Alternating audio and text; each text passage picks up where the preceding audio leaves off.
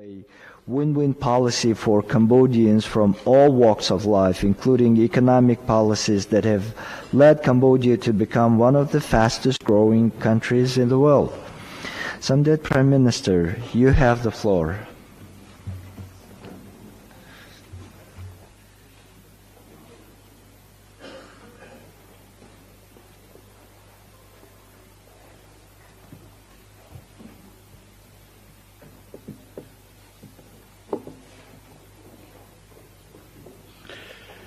Hé dames en heren, hé dames, លោកជំទាវអស់លោកលោកស្រីថ្ងៃនេះខ្ញុំមានសេចក្តីរីករាយជាណែកដែលបានមកចូលរួម ក្នុងសន្និបាត ប្រចាំឆ្នាំ លើកទី75របស់គណៈកម្មការសេដ្ឋកិច្ចនិងសង្គមគិច្ចសម្រាប់អាស៊ីនិងប៉ាស៊ីហ្វិកនៃអង្គការសហប្រជាជាតិក្រោមប្រធានបទការផ្ដល់សិទ្ធិអំណាច ជូនប្រជាជន និងការធានានៅបរិយាបន្ននិងសមភាព ក្នុងនាមក្នុងនាមរាជរដ្ឋាភិបាលកម្ពុជាខ្ញុំសូមថ្លែងអំណរគុណនិងវេតម្លៃខ្ពស់ចំពោះ UN ESCAP ដែលបានរៀបចំ និងអញ្ជើញខ្ញុំចូលរួម ក្នុងព្រឹត្តិការណ៍ដ៏សំខាន់នេះ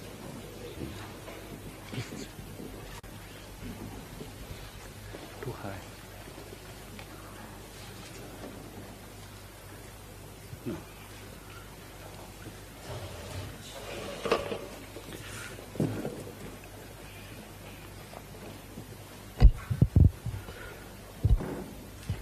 វាងវិរៈឆ្នាំ2030សម្រាប់ការអភិវឌ្ឍប្រកបដោយចីរភាពពិតជាការអំពាវនាវឲ្យមានសកម្មភាព ក្នុងការឆ្លើយតបទៅនឹងគោលដៅគ្មាននរណាម្នាក់ត្រូវបានបំភ្លេចចោល ប្រធានបទនៃវេទិកាពិភាក្សានយោបាយកម្រិតខ្ពស់ឆ្នាំ2019ស្ដីពីការអភិវឌ្ឍប្រកបដោយចីរភាព និងប្រធានបទនៃសន្និបាតឆ្នាំនេះ ស្ដែងចេញនៅសុឆន្ទៈរបស់សហគមន៍ពិភពលោកក្នុងការតម្រង់ទិសសង្គមដែលមានការបែងចែកសម្ដៅជំរុញឲ្យសង្គមទាំងនេះ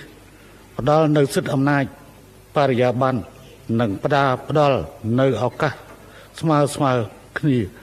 ដល់មនុស្សគ្រប់រូបខ្ញុំមានការជឿជាក់ខ្ពស់ថា UNESCAP ក្រោមការដឹកនាំដ៏មោះមុតនិងប្រកបដោយធម្មវន្តរបស់លោកជំទាវហាមីដាសាល់ស៊ីយ៉ាអាលីចាបាណាអគ្គលេខាធិការរងអង្គការសហប្រជាជាតិ និងជាប្រធាន UN ESCAP នឹងទទួលបានជោគជ័យយ៉ាងពិតប្រាកដលើគោលដៅនេះច្បាស់ណាស់ថាជាទូទៅភាពខុសគ្នាឬការបែងចែករវាងក្រមសង្គមផ្សេងផ្សេងតែងតែកើតមាននៅក្នុងគ្រប់សង្គមជាតិដោយឡែកចំពោះប្រជាជនកម្ពុជា ទោះបីទទួលបានការរីកចម្រើនក្នុងរយៈពេលប៉ុន្មានទសវត្សរ៍ចុងក្រោយនេះក្តីក៏នៅមានសតបប្រជាជន ឬសហគមន៍មួយចំនួន មិនតន់ទទួលបាន នៅសិទ្ធិអំណាចសមរូបនៅងាយទទួលរងគ្រោះនិងនៅមិនតន់ទទួលបានការយកចិត្តទុកដាក់គ្រប់គ្រាន់ផងដែរតើយើងគួរឆ្លើយតបបែបណាទៅប្រជាជនយើងคล้ายជាភ្នាក់ងារក្នុងការផ្លាស់ប្ដូរ និងក្នុងការកំណត់ជោគវាសនារបស់ខ្លួន ហើយទទួលបានសិទ្ធិអំណាចសមរូបតើធ្វើបែបណាទើបអាចជំនះលើឧបសគ្គនានាដើម្បីឆ្លើយតបទៅនឹងការសម្រេចសមភាពសង្គមសមស្របតាមបំណងប្រាថ្នារបស់យើងបានខ្ញុំមានជំនឿជឿថាវិធីសាស្ត្រមួយ ដែលយើងអាចអនុវត្តបាន ដើម្បីឈានទៅសម្រេចបាន នៅគោលដៅនេះ គឺការធ្វើបរិយាបន្នកម្មការធ្វើបរិយាបន្នកម្មអាចសម្រេចទៅបាន តាមរយៈការផ្ដល់សិទ្ធិអំណាចដល់ប្រជាជន ដោយចាប់ផ្ដើមពីថ្នាក់មូលដ្ឋាន ដែលជាការអនុវត្តឲ្យពួកគាត់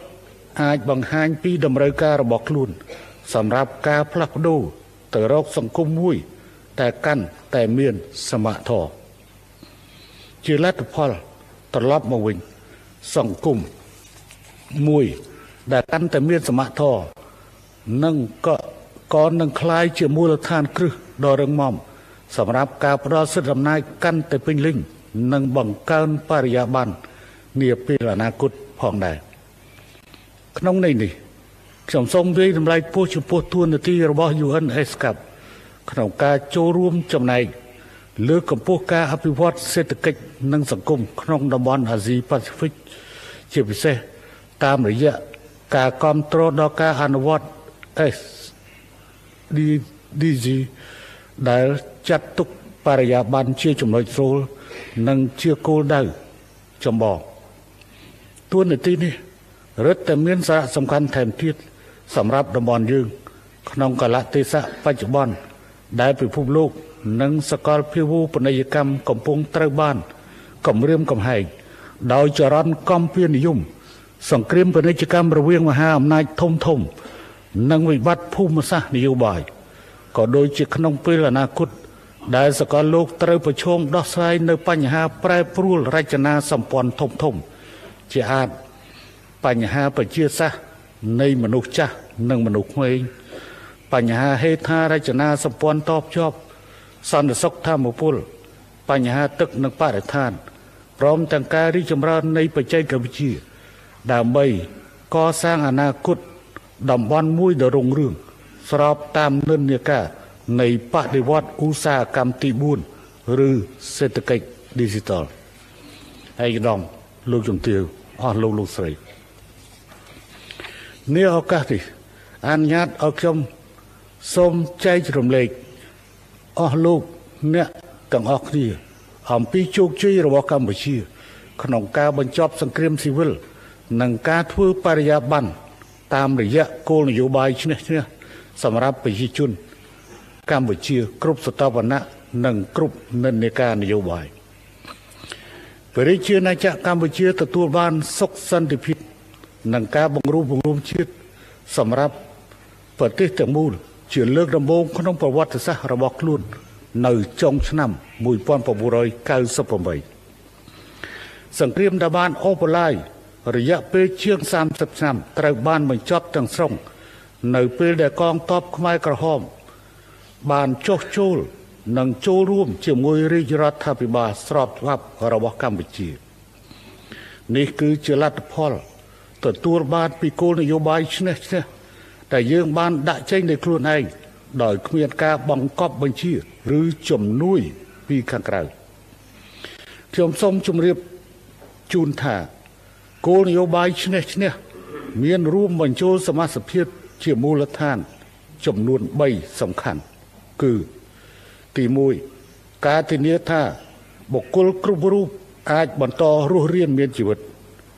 ទី2ការធានាថា បុគ្គលគ្រប់រូបមានការងារនិងមុខរបរចិញ្ចឹមជីវិត ទី3ការធានាការពារនៅទ្រព្យសម្បត្តិរបស់បុគ្គលរបស់ពួកគេទាំងអស់គ្នាជាលទ្ធផលនៃគោលនយោបាយឆ្នះឆ្នះនេះសង្គ្រាមនិងចំនួនប្រដាប់អាវុធត្រូវបានបញ្ចប់ទាំងស្រុងហើយកម្ពុជា អាចដោះស្រាយបាន នៅបញ្ហាគ្រប់យ៉ាងតាមរយៈការកសាងទំនុកចិត្តរវាងខ្មែរ និងខ្មែរដែលជាប្រការនាំមកនៅសន្តិភាពដ៏រឹងមាំហើយចាក់ឫសកាន់តែជ្រៅក្នុងសង្គមជាតិក្នុងរយៈពេលជាង20ឆ្នាំចុងក្រោយនេះសន្តិភាពគឺជាបុរេលក្ខខណ្ឌដ៏ចម្បង និងសំខាន់បំផុត សម្រាប់កសាងខឿនសេដ្ឋកិច្ចនិងអភិវឌ្ឍសង្គមជាតិលើមូលដ្ឋាននេះកម្ពុជាសម្រេចបានកំណើនសេដ្ឋកិច្ច ជាមធ្យមក្នុងពង្វង់7.7%ក្នុងមួយឆ្នាំ ក្នុងរយៈពេលជាង2ទសវត្សរ៍ចុងក្រោយនេះ ហើយបានប្រែក្លាយខ្លួនជាប្រទេសមួយ ក្នុងចំណោមប្រទេសដែលមានកំណើនសេដ្ឋកិច្ចលឿនបំផុតក្នុងពិភពលោកព្រមទាំងបានឆ្លងកាត់ពីឋានៈប្រទេសចំណូលទាបទៅជាប្រទេសចំណូលមធ្យមកម្រិតទាបកាលពីឆ្នាំ2015កន្លងទៅអត្រាភាពក្រីក្រ នៅកម្ពុជា បានបន្តធ្លាក់ចុះជាលំដាប់ពីជាង53%នៅក្នុងឆ្នាំ2004មកនៅត្រឹម13.5%នៅឆ្នាំ2014ហើយត្រូវបានប៉ាន់ស្មានថា នៅស្ថិតនៅក្នុងរង្វង់10%នាពេលបច្ចុប្បន្នវិស័យសុខាភិបាលនិងអប់រំក៏សម្រេចបាននូវការរីកចម្រើនគួរឲ្យកត់សម្គាល់ ទោះបីមានសេសសល់បញ្ហាប្រឈមមួយចំនួនដែលរាជរដ្ឋាភិបាលត្រូវបន្តដោះស្រាយក៏ដោយ ជាមួយនឹងសមិទ្ធផលដ៏ធំធេងនេះ កម្ពុជាមានមហិច្ឆតាក្នុងការក្តាប់យកមកវិញ នៅមោទនភាពជាតិតាមរយៈការប្រែក្លាយខ្លួន ទៅជាប្រទេស ចំណូលមកជុំកម្រិតខ្ពស់នៅ ឆ្នាំ2030ហើយ នឹងទៅជាប្រទេសដែលមានចំណូលខ្ពស់នៅឆ្នាំ2050ជាមួយគ្នានេះដែរខ្ញុំក៏សូមយកឱកាសនេះគូសរំលឹកអំពីកិច្ចខិតខំប្រឹងប្រែងនិងការបញ្ញាចិត្តរបស់រាជរដ្ឋាភិបាលកម្ពុជា ក្នុងការឈានទៅសម្រេចបាន នៅគោលដៅគ្មាននរណាម្នាក់ត្រូវបានបំភ្លេចចោលតាមរយៈការអនុវត្តនៅគោលនយោបាយអភិវឌ្ឍ ជាកលឹះចំនួន3គឺទី1ការដាក់ចេញ នៅក្របខ័ណ្ឌគោលនយោបាយជាតិកម្ពុជាសង្គមឆ្នាំ2016 2025ដើម្បីបង្កើនផែនការបង្កើតដើម្បីបង្កើតផែនការយុទ្ធសាស្ត្រក្នុងការធានាឲ្យមានសវត្ថភាពប្រាក់ចំណូលនិងកាត់បន្ថយភាពងាយរងគ្រោះផ្នែកសេដ្ឋកិច្ច និងហិរញ្ញវត្ថុព្រមទាំងបង្កើនសុខុមាលភាពរបស់ប្រជាជន និងពង្រឹងសាមគ្គីភាពក្នុងសង្គមទី2ការផ្ដល់សេវាថែទាំសុខភាព ដែលមានគុណភាព និងមានតម្លៃសមរម្យតាមរយៈមូលនិធិសមត្ថៈសុខាភិបាល ដែលបានផ្ដល់សេវាថែទាំសុខភាពដោយឥតគិតថ្លៃដល់ប្រជាជនក្រីក្រព្រមទាំងផ្ដល់ នៅជំនួយឧបត្ថម្ភជាសាច់ប្រាក់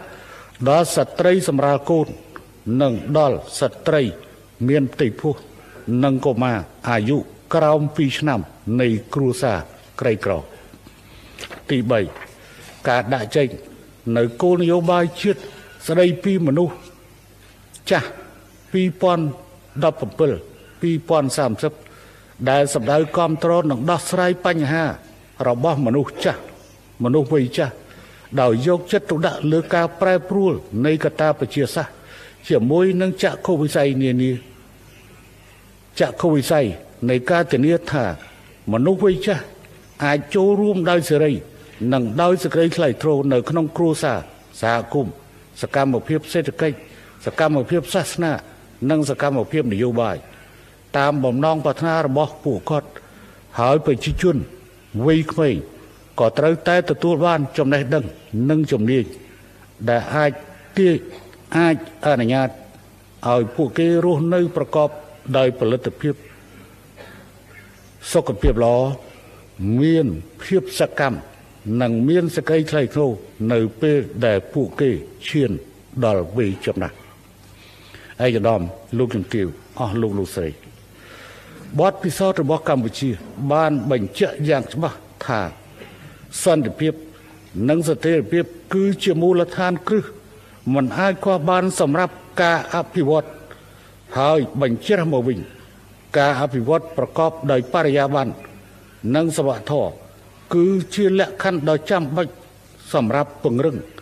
និងធានានៅសុខសន្តិភាព និងស្ថិរភាពសង្គមលើមូលដ្ឋាននៃបទពិសោធន៍នេះប្រជាជាតិកម្ពុជាទាំងមូល ផ្ដល់តម្លៃខ្ពស់បំផុត ចំពោះការខិតខំបន្តថែរក្សាសន្តិភាព និងស្ថិរភាពព្រមទាំងការជំរុញកិច្ចអភិវឌ្ឍប្រកបដោយបរិយាបន្នដែលបច្ចុប្បន្ននេះ កំពុងតែហុចផ្លែផ្កាយ៉ាងពិតប្រាកដជាប្រយោជន៍ជូនដល់ពលរដ្ឋកម្ពុជា នៅគ្រប់ឆររហកក្នុងទីប្រទេសមុននឹងបញ្ចប់ខ្ញុំសូមសម្ដែង ជាថ្មីម្ដងទៀត នៅការវិនិច្ឆ័យពោះជូនចំពោះអង្គការសហប្រជាជាតិនិងដៃគូអភិវឌ្ឍន៍នានាដែលបានបន្តកិច្ចសហការនិងគ្រប់គ្រងដល់ប្រទេស និងប្រជាជនកម្ពុជា ក្នុងពេលកន្លងមក ហើយរំពឹងយ៉ាងមុតមមចំពោះសុឆន្ទៈនៃការពង្រឹងនិងលើកកម្ពស់កិច្ចសហប្រតិបត្តិការអភិវឌ្ឍនេះឲ្យកាន់តែសកម្មខ្លាំងឡើងថែមទៀត ដើម្បីគោលដៅរួមរបស់យើងទាំងអស់គ្នាគឺកសាងពិភពលោកមួយ ដែលគ្មាននរណាម្នាក់ត្រូវបានបំភ្លេចចោលជាចុងបញ្ចប់ខ្ញុំសូមជូនពរឲ្យសន្និបាតប្រចាំឆ្នាំ លើកទី75នេះទទួលបានផ្លែផ្កាគូជាទីមោទនៈនិងសូមឲ្យអ្នកចូលរួមនិងភ្ញៀវគ្រប់រូបនៅក្នុងអង្គសន្និបាតបានប្រកបតែនឹងសន្តិ ភាពភាពសុខដុមរមនាសុខភាពវិបុលភាពនិងសុខមង្គលកុំបីឃ្លានគ្រាឡើយសូមអរគុណ